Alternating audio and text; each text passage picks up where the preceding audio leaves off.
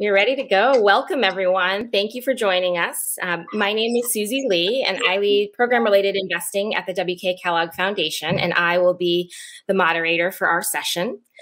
It's an honor to partner again with SOCAP to host this critical conversation on rethinking risk to unlock capital and innovation.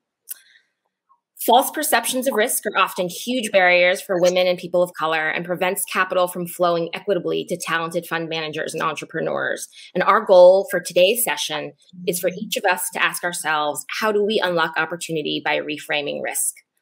The structural paradigms that reinforce perceptions of risk require systems change to shift. And we will learn how our panelists are disrupting the risk paradigm and paving new pathways. Structural and systemic racism are the problem that we at the Kellogg Foundation aim to tackle at every level of how we invest and who we invest in. We're focused on taking a systems approach to achieving long term, sustainable, positive outcomes. And to help us achieve that, we invest in fund managers, entrepreneurs, and social enterprises across the risk spectrum through vehicles including mission related investments, program related investments, and grants. And you'll see that represented across our portfolio uh, that's on our panel uh, today. Uh, and, and, today we've convened a dynamic group of leaders from our portfolio who are redefining risk through their work. And they're addressing the root causes of racial inequity from across the ecosystem. So let's dive in. I'd like to introduce our panelists. Uh, we have Mallun Yen, founder and partner of Operator Collective, David Sharp, CEO of Urban Advisors, and Tim Spurlock, CEO of American Diesel Training Centers. And as a reminder to the audience, you're welcome to drop comments or questions in the chat throughout the event. And I have an opening question for all three of our panelists.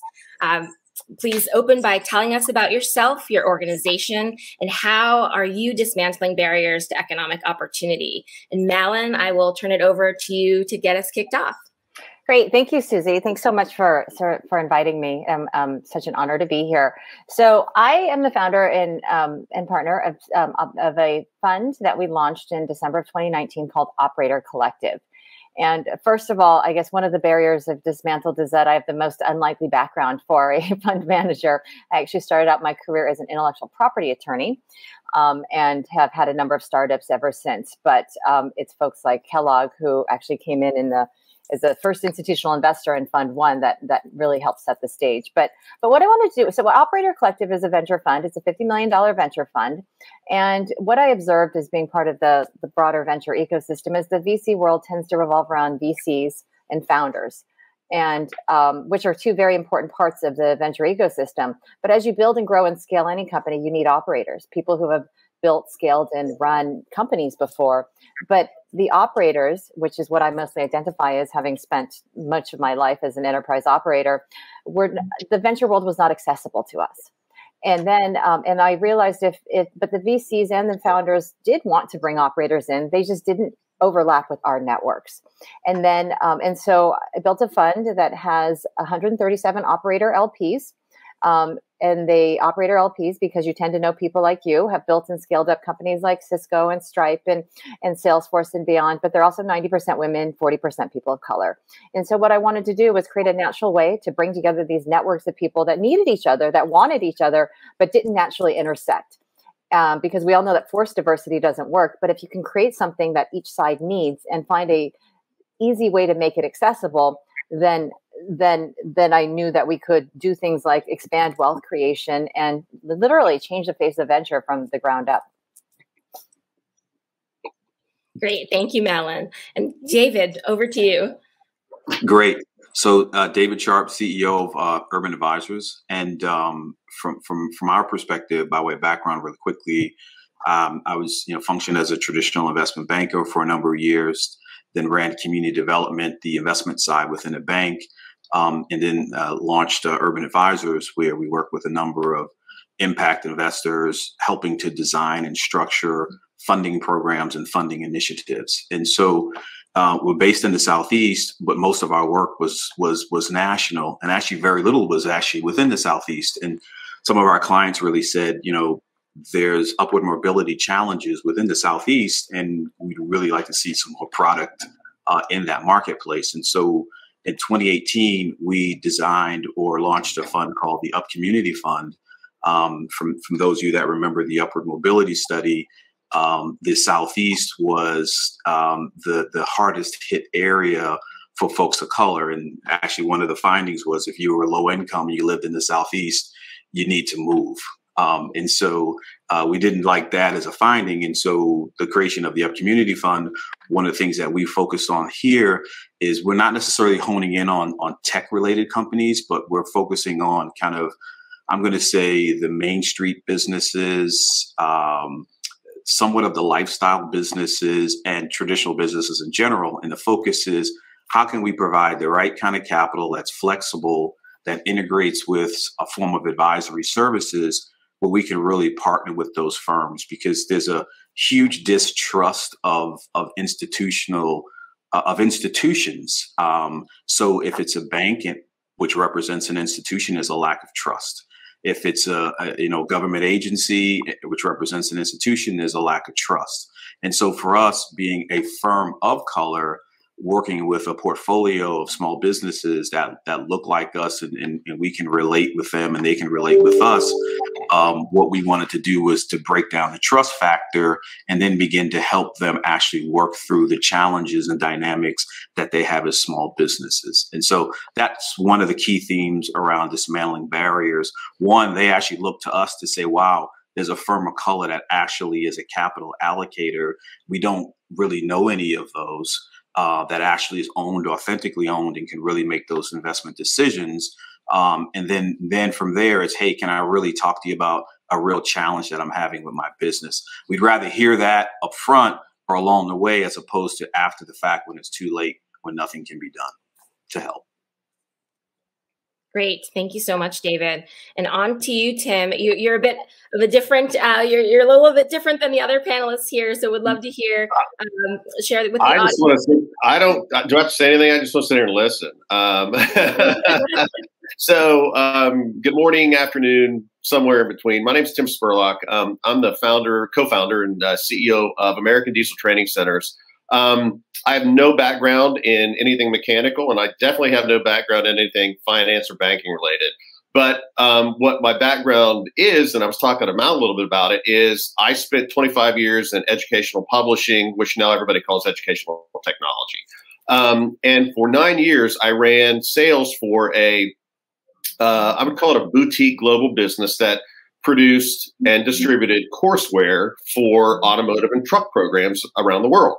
So if you were teaching people how to be mechanics, you were either using our product or we were trying to get you to use our product.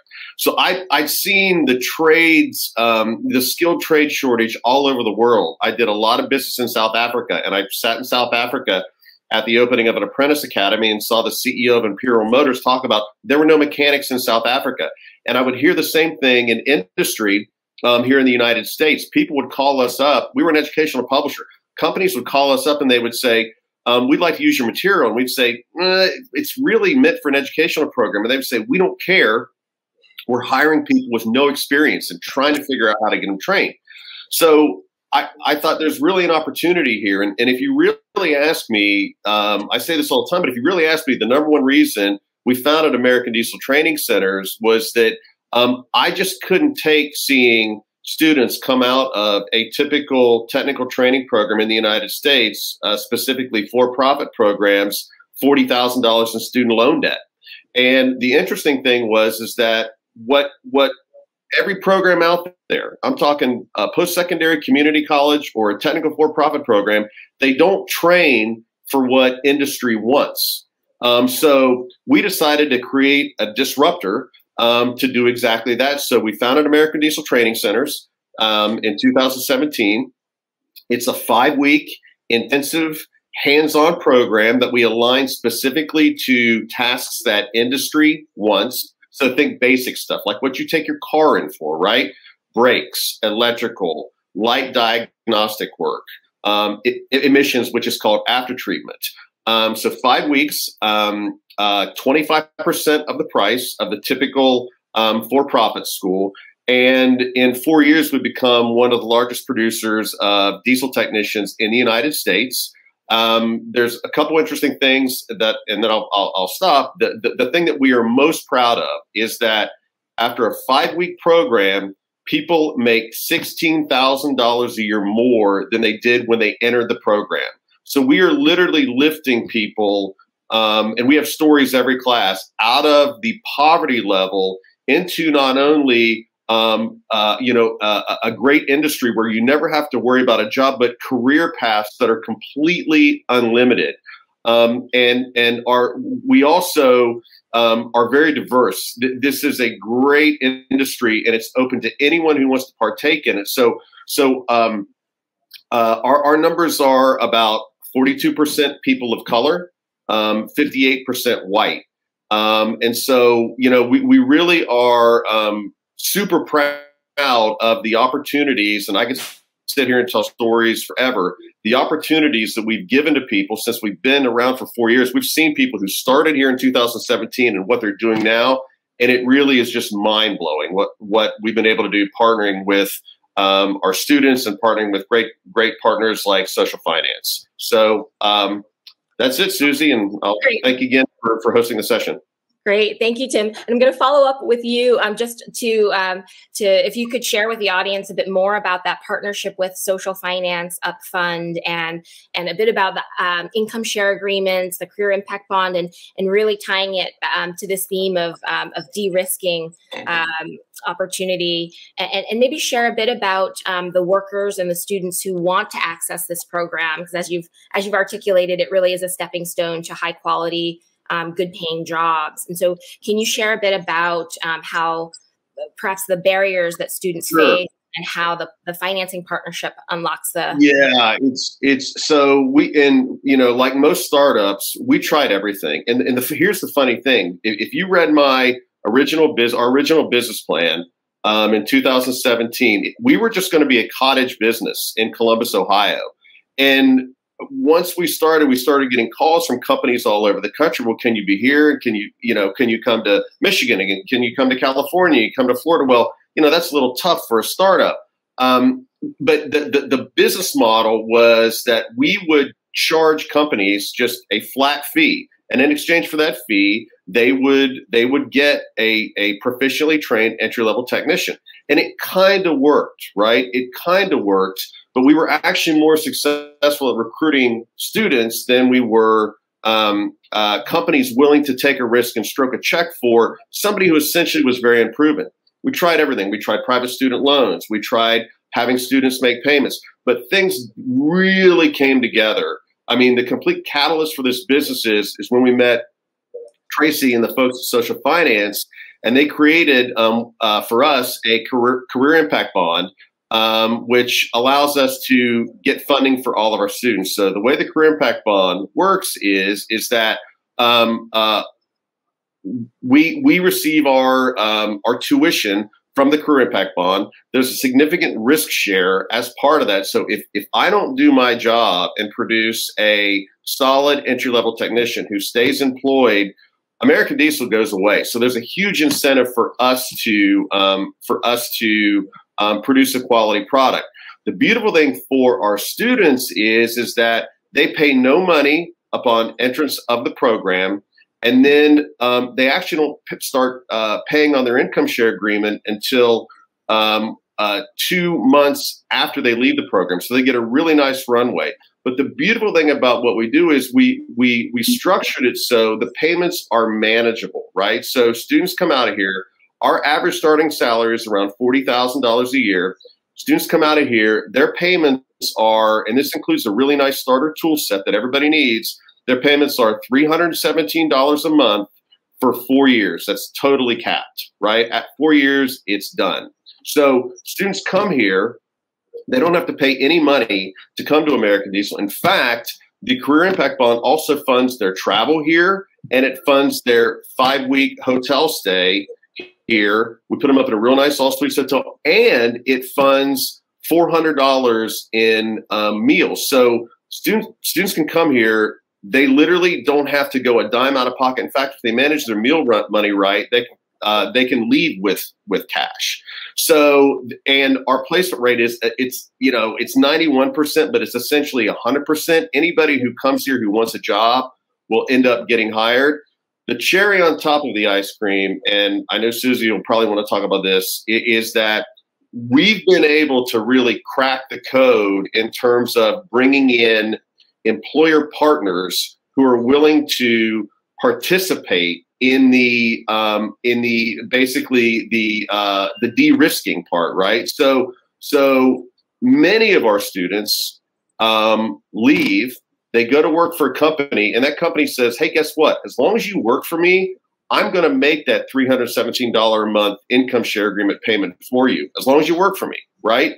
We mm-hmm. also, 17% of our students, and this thing is growing like a hockey stick, 17% of our students come in already employed by a particular company. We do recruiting, private label recruiting campaigns for those companies that advertise great opportunity, um, great career. So what we do is we we screen the applicants we send uh, candidates to the company, and the companies hire them based on attitude and aptitude, right? And then they send them to us. So these students are being paid for training, all their expenses are handled, and the ISA payments are handled. And right now that's 17%, but our class we just um, pushed out of Columbus here on Friday, it was 100%. Our yeah. class we have coming through in December is 75%. So you're going to see that 17% very quickly go to 50, 60, 70%. So we really do have we have everyone participating in this. I take a risk, the the students take a risk or trainees take a risk by coming here. The employers take risk by investing proactively in these um, in our students. And the end game is is our average student leaves here with a sixteen thousand dollar raise out of the gate and a we consider ourselves to be a portal into the business like there are ceos of trucking companies all over the place who started out as technicians yep. so that's the fun thing about what we do awesome thank you that is such a great um, story of really how you're shifting the risk away from the worker and the student and really onto employers the financing um, partner and and you as the training provider which is i think really where the risk needs to be, and um, and that's unlocking um, those opportunities and breaking down barriers for uh, for workers. So thank you, Tim. Um, so shifting shifting to Mallun and David, and um, both of your funds and organizations provide capital and resources to diverse founders, uh, women, and entrepreneurs of color. Can you share a bit about the barriers that entrepreneurs you support face, and really how your model and how your support unlocks opportunity for them? Mm-hmm. Uh, maybe we'll start, David, uh, with you. Okay, great. Sure. So, so, so for us, I mean, we went in with a thesis of really helping um, underserved, disadvantaged businesses, specifically businesses of color. But at the same time, we kind of got the one-two punch uh, because you know COVID hit right at, at, right at that same time, and so for us, uh, one of the things that we that we recognize is that um, I think we've all heard statistics around they were anticipating a 40 to 50% loss of black owned businesses uh, as a result of COVID. And I have to admit, out of our 16 companies, um, there was probably some point along the journey where 14 of those 16 were probably teetering on going out of business, especially based upon the combination of COVID. Um, we are probably looking at maybe one or two um, at this stage that that are are facing that potential reality, but the majority of those businesses have have weathered that storm and have made it through. We we actually helped the majority of our companies secure secure PPP financing. Um, and so what happens is a is a fund manager is that you know there's no quote unquote drawing a line in the sand. It's like whatever your portfolio company needs is what you wind up finding yourself doing. So we were beginning to function as co-CEOs, co-COOs, CFOs, and we would walk dogs on the weekend for some of the portfolio managers if we needed to. And so, but as a result of, of, of that really being in the trenches, really working with these companies, I mean, the things that we saw as, as themes that were repeatable for the process was, you know, bookkeeping without question was a challenge for every single company. I mean, there's there's just no way around it. We actually had to bring a bookkeeper on our team, and we'll probably add another one or two to just come in at the very beginning and help the companies migrate through the process as it relates to bookkeeping and financials. Um, another another area is you know bringing in someone who can really help them to review certain contracts. I find that when some of the small businesses get into a jam, it's well, you know, let's hey, here's an opportunity, let's jump on it because we need it really quick, and no one's really reviewed any of the documents, and so they find out that they get into a really bad deal. Um, for a lot of the companies, we had to clean up their balance sheets. Uh, you know, as you're a struggling business, you know, you're you're reaching for whatever source of financing you could get your hands on, and so you know, predatory lending, it, you know, to me or on some of the online lending, you know, the metaphor I used with the portfolio companies, it's like crack cocaine. It's like, I mean, I've never used it, but it's just a metaphor that, um, you know, feels really good for a few minutes. And, uh, and after that, you know, it's, it's a really difficult situation to work yourself out of.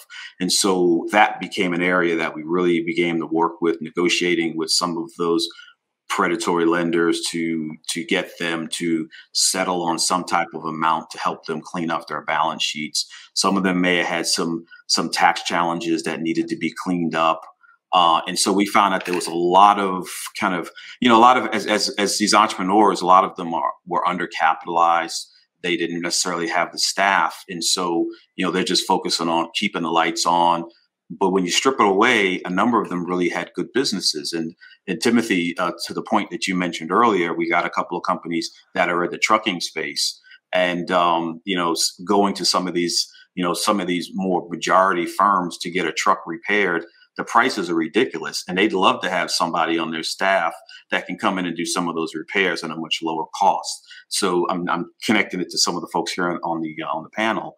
But that that for us i mean between the bookkeeping between helping them to make you know strategic decisions beginning to talk about enterprise value i mean we really function more like a like a private equity fund than a credit provider although the underlying instrument was a, was a credit product because what the businesses really needed was an, an, advisory capacity or relationship, but it had to be someone that had trust. And so we spent a lot of time on the front end to establish trust with the entrepreneurs so they could pick up the phone on a Sunday and said, Hey, David, I need to talk to you about, about something that's really going on. And in some cases, it requires a lot of work to fix. And in some cases, it's just a quick fix, but they just really didn't have anybody to collaborate with. So you want to becoming partners to the owners of the business. That's great. Thank you, David. And it just shows how so much more um, is needed beyond capital and money itself to really help these entrepreneurs uh, thrive. So, Mallun, the businesses and the entrepreneurs and the founders that you partner with are, are quite different uh, than the, the ones that David um, described. But can you share with us some of the some of the challenges that um, that the founders you support um, face, and really how your model is is so unique in helping them uh, grow and thrive? Yeah, so I do enterprise software. so so a little bit different from what you guys focus on, but I think a lot of the themes are the same, right? The risks in running any business is that when you're trying to recreate the wheel, each individual person is trying to recreate the wheel and figure it out on their own. They may have a great idea, but they any roadblock from from lending right to just a, a good lawyer, um, just people who have been there, done that. You can accelerate the success of them. And so what, what we wanted to do with um, with both actually, when you look at how we've sort of de-risked, it's actually the, the founders that we invest in, but it's also the um, the operators who have been left out of venture who wanted to access venture. But for us, de-risking. So let's actually talk about that first because on the operator side, the ones who have invested in our fund, right, and then the fund invests in the founders, is that these were these highly talented, um, you know, highly skilled, highly experienced um, individuals who had just not had the opportunity to invest. And investing is not just about, oh, you know, you hear about it's like, oh, you should just angel invest, right? But angel investing and losing your money, right? When wealth creation is already concentrated amongst a single dominant homogenous group, is not a lot of us who are not part of that dominant homogenous group can't just angel invest and not have, you know, and not have that, you know, uh, and, and just do it in ultra risky investment. So what I wanted to do was make it easy and safe, right? And a way of not every single one of these operators trying to recreate the wheel to learn how to angel invest, how to source companies, so the efficiencies. And then second, when you invest, you want to have a portfolio. So me as an individual operator, maybe I can't do 20 or 30 investments. I maybe can do one or two which is uh, which is not diversification, but through the through our fund, they can actually they invest in obviously all the companies that we've invested in because they've invested in our fund. Um, second, on the operator side, even though there's all these ultra talented, mostly women and people of color, 70% of it have never invested in venture before. our fund was the very first time. And when we asked them, they said, "Well, no one asked. I didn't know how to engage, and you know, didn't have time, etc." And then so the the so our fund actually invests in founders from all backgrounds. We don't just invest in women and people of color, but we, we also knew is because you have these naturally more diverse networks from the deal flow that we get from our operators and others that are, um, uh, are you know, our our founders do tend to be, um, especially in enterprise software, which tends to be very homogenous. Um, our founders mm-hmm. actually tend to be um, more from more diverse backgrounds. So 70% of our founders um, have a um, have a founder of color. Um, um, almost 40% of our CEOs are founders of color, and then also with respect to to women, 48% of our companies have a female founder um, almost 40% actually have a female CEO. And um, this was not intentional, but um, but it actually um, over you know almost 25% of our companies have actually an all female founding team. Mm-hmm. Um, so so when you can when you can when you can you know de-risk make it accessible for this group of ultra talented operators to come in then you necessarily have a broader lens in which to invest in these founders who you might not have access to. And then, so for these founders, it's a lot of what David and Tim, Timothy are doing, which is how do you how do you reduce the risk by we have a you know 137 individual operators who have all built and scaled up companies. Some of them are founders as well, and all of their networks that we can tap as they grow and scale their company because you need different things at different stages of the companies and so that's what we do with our with our founders as well which is we make sure that we only invest in values aligned founders who we believe the world is are going to make the world a better place by treating people well having great cultures and also um, obviously being ultra successful because this is about expanding wealth creation beyond the same you know group of which you know wealth has tended to to to circulate and um, mm-hmm. and it's fun and i'll just share a couple of um, stats which is um, I this is a first time fund for me. I'm a first time fund manager, and a lot of people, a lot of people believed in this idea, even though I didn't have the traditional background of of a, of a, a venture, um, including Kellogg, like I said, who who came in as the first institutional investor and really made a huge difference. But since we've started the fund, um, we've been investing for um, about uh, about two and a half years. Um, we have, you know, the deal IRR is almost um, is over 80% of the 11 core companies we invested in prior to 2021. 10, 10 have raised follow-on rounds. 11 of them were, or 10 companies have raised follow-on rounds. Um, 10 of them were actually also preemptions, meaning that they weren't even raising. And the increase in market valuation from the time that we first invested to the last round valuation um, increase is over $7 billion.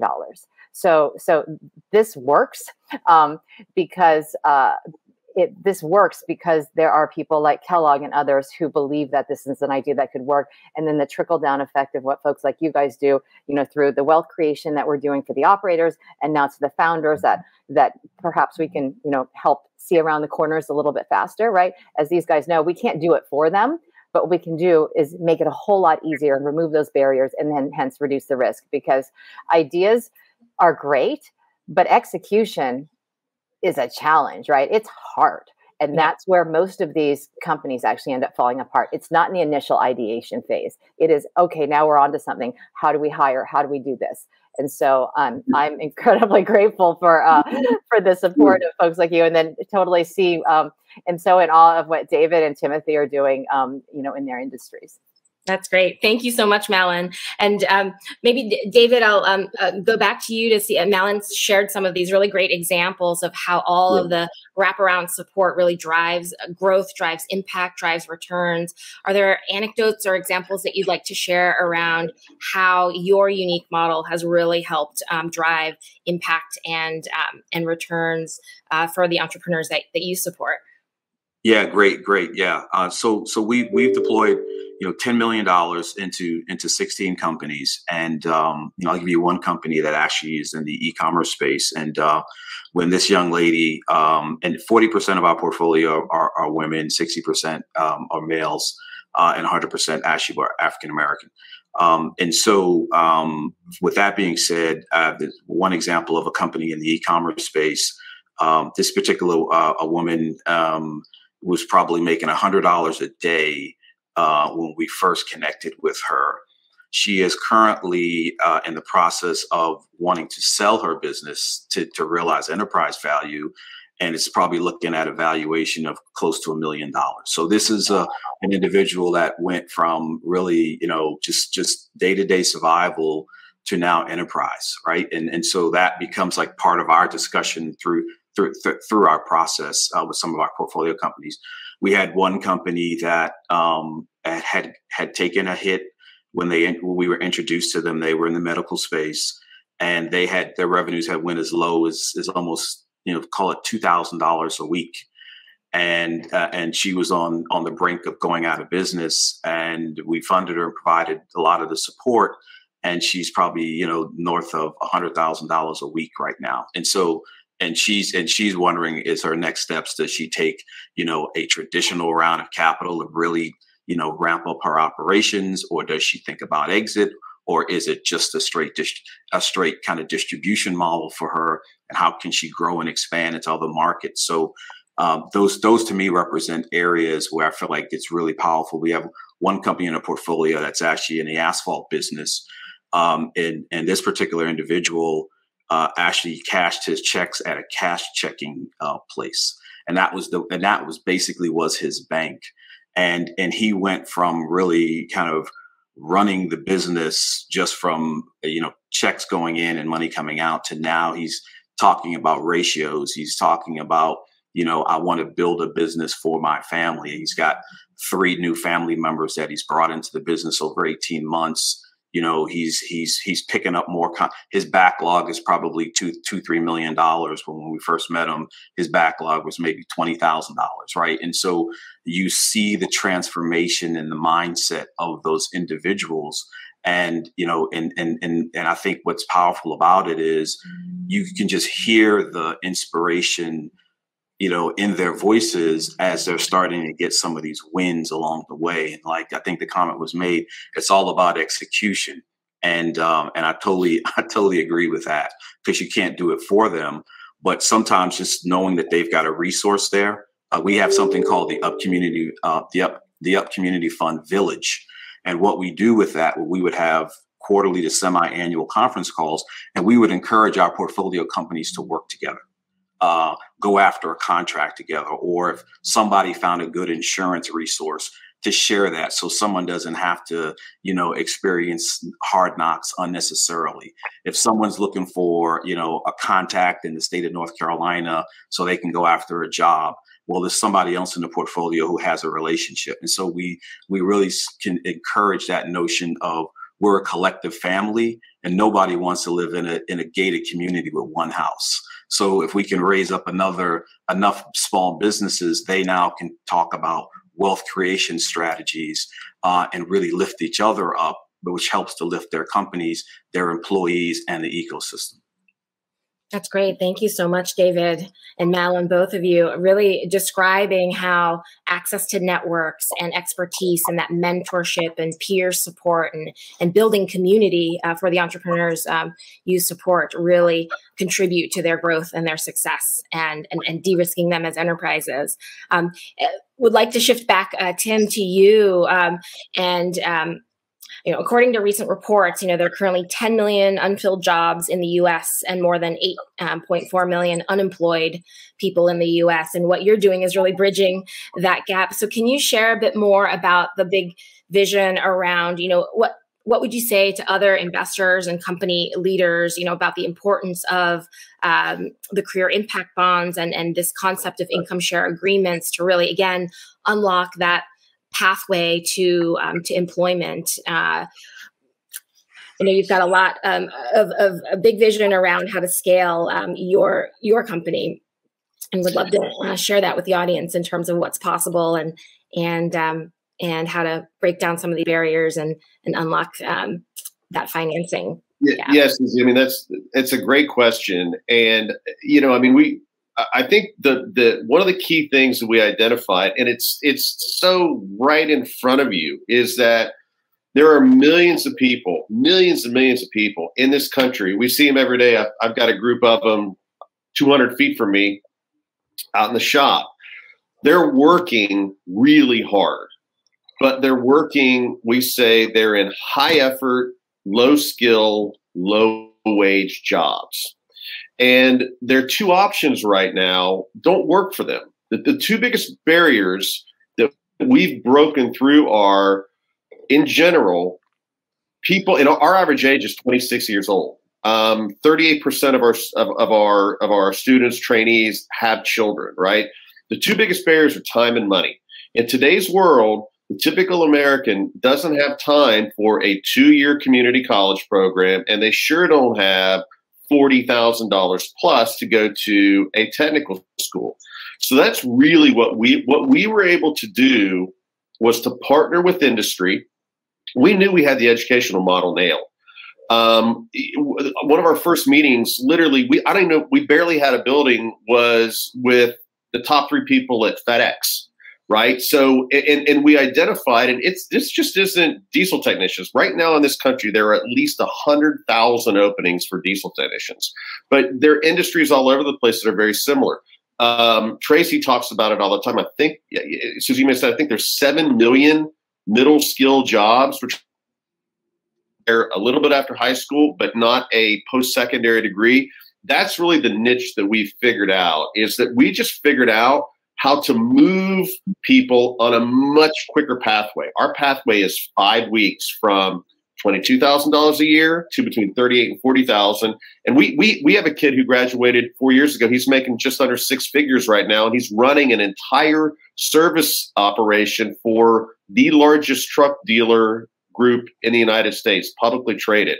Well, like I said, I could tell stories like this all the time. So it's the it's the pathway. Now the problem, and and which is why we we chose not to go the Title IV funding route. And so um, Title IV funding are basically grants, student loans, etc. We believe because there's a two trillion dollar student loan debt, the Title IV funding is one of the biggest challenges um, and, and causes really of, of, of, but we're you know kind of where we are right now because so many people are so buried in debt that they working in jobs that they they, they didn't go to school for right? So our, we were successful in basically building the model for and then going to find even though it was really hard and david and alan are totally right like we had some really rough weeks. We, we built the model for and then we we figured out how to fund it later. I don't know that i would give anybody that advice but we've really kind of now that we've broken through and done what we do, I guarantee you there will be other startups very similar to us in other businesses where companies looking for mechanical geniuses. They want people to who can show up, work hard, um, be willing to um, get additional training, um, and fundamentally solid mechanically. I think those traits they translate to industries way outside of what we do. But the the income share group and the the risk share and the fact that can come here and literally their payments don't start at worst case scenario until they've landed a job. Best case scenario, they're going to come through here, get a job starting out at 40,000 plus and never making a payment on their own because the company's going to make the payment on their behalf because we've proven a rock solid ROI that that company it's the greatest deal on the planet to hire our students based on the expensive rates that companies charge. Great, thanks so much, Tim. I'm going to shift it back uh, to to David and Mallun um, to uh, begin closing us out here um, with any advice. Um, what um, what advice would you give to other innovators in how to raise unique funds like yours and really meet the needs of these entrepreneurs that you're that you're serving? Um, yeah so so um, so for all of my life i felt like an outsider for for lots of reasons. Um, even my first job my first you know executive position was as chief ip counsel focused on patents Susan, that made, do we lose Mallun? oops. Can you hear me? Oh yeah I, I can hear you. Okay. I can hear you as well. Yeah. Um, um Oh, I'll, I'll, and and so so anyway, I've always felt like an outsider from having you know immigrant parents who didn't speak English, from from being the only one who didn't have a technical degree, who was the chief patent counsel of a major corporation, to like not having really any um, much in investing experience when I started a fund. I would say lean into those differences because if I had tried to um, put together a fund that looked like your typical venture fund, um, no one would have funded it. I wouldn't have funded it. Kellogg wouldn't have funded it. But instead, I focused on what do I know and how can I develop what I what I need to. And then the second thing is is is like listen to the naysayers too. When I started to um, hear what they're saying, doesn't mean you have to. David, can you hear me? Yes, uh, we can. can hear you, Timothy. Yeah. Okay. Um, and so listen, um, hear what the naysayers have to say, because uh, most of the time they mean well, but there's, uh, I heard a lot of, you're never going to raise a fund if you do this. You're never going to raise a fund if you do this. And instead of ignoring it, understand that other people are going to have those comments too and find a way to address them, but maybe not in the traditional way that other people have. And I think those were some of the two key things that that allowed me to put together a fund that really didn't look like like anything else with a background that didn't look like anyone else's either and we're so glad you did. David, what advice would you want to share? Yeah, and and so it's interesting. It's a I'm going to say it's a, a pre-social unrest versus post-social unrest. I mean, we we kind of raised our capital during during the pre-social unrest, and I have to I have to admit, um, it's it's a different dynamic now. I think the opportunity set is is is, is better now for for for fund managers, but I think at the end of the day, it's it's got to be a segment that you really have some personal passion about because you know every day is not a sunny day, right? And and, and, it's got to be something that at the end of the day gives you uh, gives you enough purpose to go through the challenges that you are going to go through. There's no way around it. You're going to go through challenges if you're trying to get, into the fund management business and then start as that emerging fund manager. You're like a we're like a startup. And the thing I always say to our portfolio companies is we're just like you guys. Like we're having the same challenges, you know, as a as a small as a small business. But the thing I would say to you though is that um, if it's something that you really care about, you really you're really passionate about, there may be a need in the market.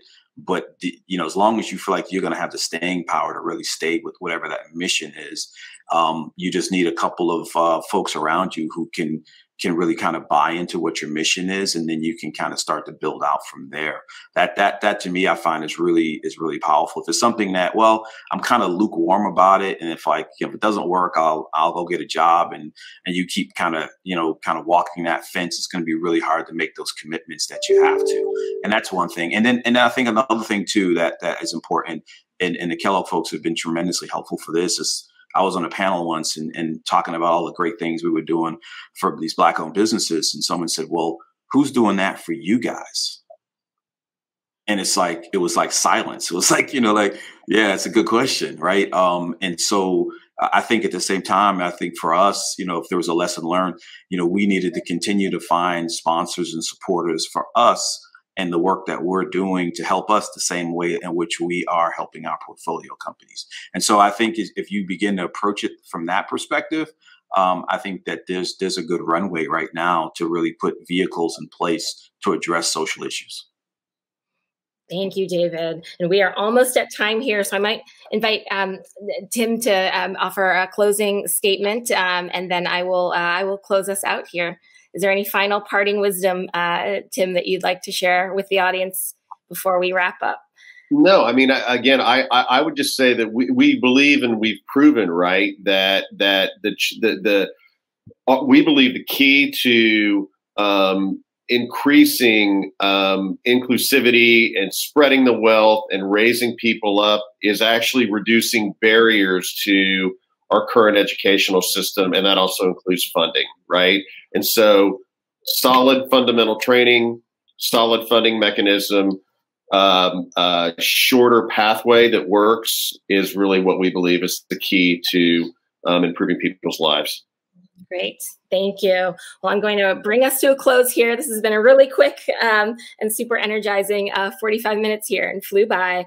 Um, I just wanted to, to um, wrap us up here um, by really reiterating that uh, this is a critical moment um, with more capital flowing towards advancing racial equity and shifting power. And as investors and change agents, we must all continue to rethink and redefine risk to dismantle the false narratives that perpetuate perceived risks of investing in Black, Indigenous, and people of color and women. And we hope that the stories and successes of our panelists. Um, uh, that our panelists shared will really inspire more investors uh, to support fund managers who are reaching entrepreneurs and people of color in unique ways and to invest in entrepreneurs directly um, who are disrupting the system. Uh, so, again, thank you, Mallun, David, and Tim, for sharing your wisdom with us today. Uh, we really enjoyed um, this conversation, and a huge thank you to SOCAP and all of you in the audience for joining us today. And we hope you all enjoy the rest of the virtual convening. So, thank you all.